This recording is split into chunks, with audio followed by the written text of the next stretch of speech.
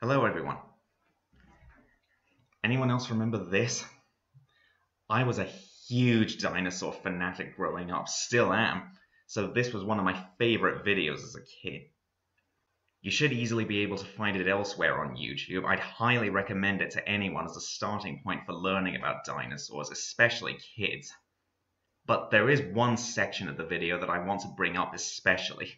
Scattered throughout are what it calls dinosaur dozens, which are exactly what they sound like a list of 12 species from each of the five dinosaur families. I think that's a really cool idea, so what I've decided to do here is to create my own version of those dinosaur dozens and upload them over the next five days. Now, before we start, I think I'd better explain something. These dozens are going to differ a bit from the ones on this video. After all, this program was made in 1982. It's almost 35 years old, so some of the information may be hideously outdated today. For example, names like Anatosaurus and Dromiceiomimus are no longer recognized by science, so I changed them to Edmontosaurus and Struthiomimus respectively. And yes, I know Dromiceiomimus has been reclassified as Ornithomimus, not Struthiomimus, but hey, it's my list. I've also changed out names wherever I thought a dinosaur mentioned on the video wasn't really famous enough to be included. For example, on the video, Acanthopholis and Palaeoscincus are included in the dozen for the armored dinosaurs. I somehow felt a couple of more familiar names were called for, so I changed them to Edmontonia and Sauropelta. There are also a couple of unique examples I just have to mention. On the video, Pachycephalosaurus is included in the dozen for the ornithopods, the bird-footed plant eaters. I removed it because it's technically not an ornithopod and replaced it with Tenontosaurus. And the original dozen for the sauropodomorphs, the long-necked plant eaters, cheats somewhat by starting with baby Camarasaurus. I decided to change it to a small prosauropod, Anchisaurus, and move the adult Camarasaurus further down the line, sacrificing the Riojasaurus that was in there originally. But anyway, like I said, I'm sure you can find dinosaurs, fun fact, and fantasy on YouTube somewhere, so perhaps you'd like to check out the original dozens just to see how they differ. Good luck getting the theme song out of your head, though. My narration, by the way, is all taken from a document I compiled during my free time on a computer course I took a couple of years ago. I try to make each one no longer than three lines. And the last thing I should mention is that the dinosaurs in these dozens will roughly be in order of increasing size, starting with the smallest and ending with the biggest in each family, with a couple of exceptions, one of which in particular I'll point out when we come to it. Anyway, enough rambling. Let's get started with the sauropodomorphs, the long-necked plant eaters. Anchisaurus was one of the first dinosaurs to be discovered back in 1818 in Connecticut although it wasn't formally described until 1885. It was a small, long-necked herbivore that could walk on either two legs or four. It lived in the eastern USA in the early Jurassic period, about 190 to 174 million years ago. Thecodontosaurus was one of the earliest dinosaurs, as well as one of the first to be discovered. It was a small plant eater that walked on two legs, with a neck that was unusually short for a sauropodomorph, and a tail that took up more than half of its total length. It lived in southern England in the late Triassic, 203 to 199 million years ago, which technically means it also carried over into the Jurassic period, but we won't split hairs over a couple of million years. Massospondylus was a medium-sized prosauropod, Thanks to many fossil finds of individuals of all different ages, scientists have a clear picture of how Massospondylus lived and grew. These finds also show that prosauropods walked on two legs instead of four like their later giant cousins. It lived in South Africa in the early Jurassic, 200 to 183 million years ago.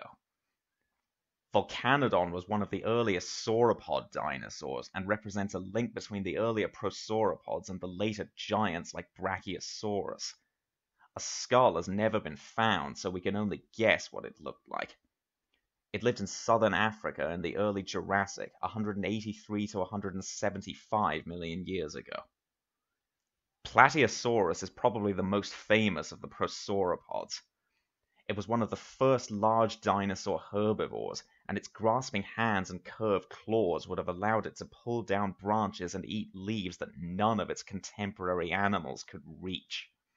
It lived in northern Europe in the late Triassic, 214 to 204 million years ago. And because we're getting bigger now, let me throw something else in here to give you an idea of its scale.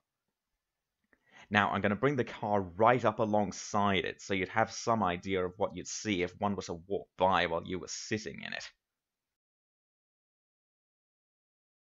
Hmm. And that's only an average sized dinosaur. There's still so much bigger left to come. Cetiosaurus was a very primitive sauropod. Its backbones were solid, unlike the hollowed out vertebrae of more advanced sauropods like Brachiosaurus. It was named whale lizard because its discoverer, Sir Richard Owen, thought it was a marine creature. It lived in Europe and Africa in the mid-Jurassic, 167 million years ago. Apatosaurus was shorter but even heavier than its close relative Diplodocus.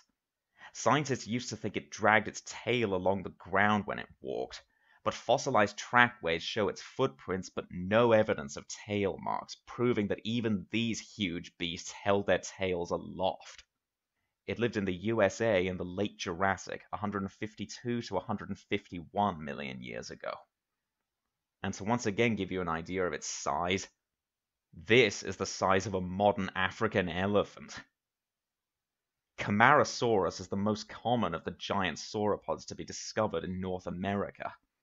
It had an unusually box-shaped head with huge nostrils that led some people to think it had a trunk like an elephant. It lived in the USA in the late Jurassic, 155 to 145 million years ago. And the reason why you see two, by the way, is because I felt the need to make a distinction between the most famous species, which is about 18 meters long, and the largest species, which is about 23 meters long. Brachiosaurus is one of the largest and tallest dinosaurs ever discovered. It weighed as much as eight modern elephants. With a vertical neck and longer front legs than hind legs, it stood 43 feet, 13 meters tall, so it could easily eat the highest leaves from the tallest trees. It too lived in the USA in the late Jurassic, 154 to 153 million years ago. Diplodocus was one of the longest dinosaurs of all time, but surprisingly lightweight compared to some of its smaller relatives. It was a slender, lightly built sauropod with pencil-like teeth and a long whip-like tail.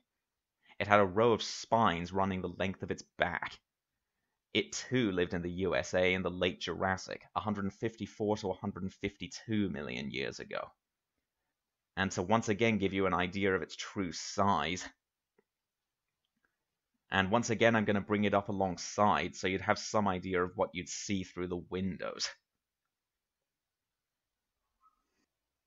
That thought always gives me chills. Mamenchisaurus is known for its remarkably long neck, which took up half of the dinosaur's total length. The most famous species is about 72 feet, 22 meters long, but an even larger species may be one of the largest dinosaurs to ever live at up to 115 feet, 35 meters long. It lived in China in the late Jurassic, 160 to 145 million years ago. And once again, there are two pictured here to illustrate the size difference between the most famous species and the largest one. I should really have ended the dozen with this one, but because there's such a huge size differential between the two species, I decided to split the difference, as it were. Now we come to the twelfth and final one here. Supersaurus is one of the biggest dinosaurs ever unearthed. It was related to Diplodocus and Apatosaurus, but had proportionately longer bones. Many gigantic sauropods roamed in herds across the US during the late Jurassic period, but Supersaurus stood head and shoulders above them all. It lived, as I just mentioned, in the USA in the late Jurassic, 153 million years ago.